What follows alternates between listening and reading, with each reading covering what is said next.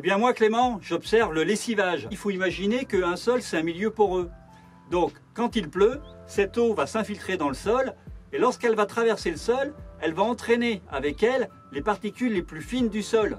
Ce qui fait qu'on a en haut un horizon organominéral, l'horizon de la bourre, on a un horizon intermédiaire décoloré qui a perdu les argiles, et tout en bas, on a un horizon légèrement ocre-orangé qui lui s'est enrichi en argile qu'on appelle un horizon illuvial.